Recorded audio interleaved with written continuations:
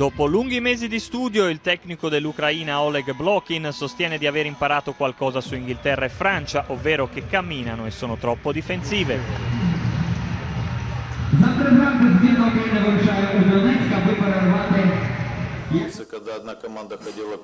Ho imparato molte cose nuove su Inghilterra e Francia, le ho viste giocare molto lentamente e mettere otto uomini in difesa.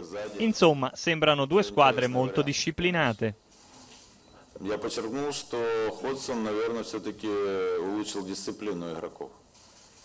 Или в таком состоянии команда, не знаю. L'Ucraina è prima in classifica dopo aver vinto con la Svezia, ora c'è la Francia e per Blockin ci vuole un surplus di concentrazione da parte dei suoi. Но выиграли одну игру, а если мы Non две dobbiamo выиграли, pensare alla vittoria ancora. Abbiamo vinto solo una gara e se perdiamo le prossime due tutto andrà sprecato. Venerdì alla Donbass Arena, dunque, Ucraina-Francia.